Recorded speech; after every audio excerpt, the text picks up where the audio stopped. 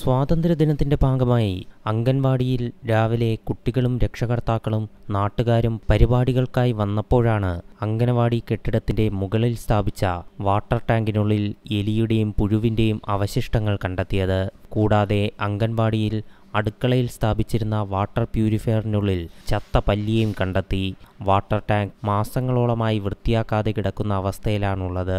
സംഭവത്തിൽ രക്ഷകർത്താക്കളും നാട്ടുകാരും ചേർന്ന് പോലീസിനെയും ആരോഗ്യവകുപ്പിനെയും വിവരമറിയിക്കുകയും കൂടാതെ മെമ്പർമാരും സ്ഥലത്തെത്തുകയും ചെയ്തു.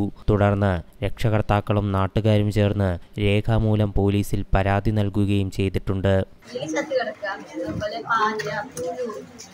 വെള്ളത്തിന്റെ കളർ ആകെ കറുത്ത കളറായിട്ട് വന്നിരിക്കുന്നു.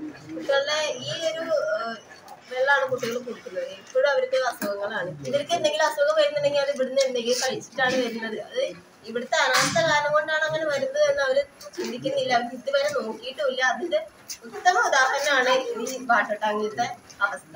ഇതിലെ ഒരു നടപടി എടുക്കാതെ ഞങ്ങൾ ഒരിക്കലും കുട്ടികളെ ഇനി ഈ അംഗൻവാടിയിലേക്ക് വിടുന്നില്ല ആരോഗ്യവകുപ്പ് പരിശോധന നടത്തുകയും സംഭവത്തിൽ വേണ്ട നടപടികൾ സ്വീകരിക്കണമെന്ന ആവശ്യം വേണ്ടപ്പെട്ട അധികാരികൾക്ക് റിപ്പോർട്ട് നൽകുമെന്ന് ആരോഗ്യവകുപ്പ് അധികൃതർ പറഞ്ഞു. ഒരു ഗുരുതരമായ വീഴ്ചയെ തന്നെയാണ് ആരോഗ്യവകുപ്പ് അത് കണക്കാക്കുന്നത്. അപ്പോൾ അതിനൊരു പരിഹാരം എന്ന നിലയ്ക്ക് അതിന്റെ കർശന നടപടികൾ സ്വീകരിക്കുന്നുള്ള റിപ്പോർട്ടുകൾ മുകളിലേക്ക് നമ്മൾ അയക്കുന്നുണ്ട്. അതുകൂടാതെ ആ നിലവിൽ ഇരിക്കുന്ന ഓവർഹെഡ് ടാങ്ക് മാറ്റാനും പുതിയൊരു ഓവർ ഓവർഹെഡ് ടാങ്ക് ഇന്ന് തന്നെ വാങ്ങി സ്ഥാപിക്കുന്നതിനുള്ള നടപടികൾ സ്വീകരിക്കാൻ നിർദ്ദേശിച്ചിട്ടുണ്ട്.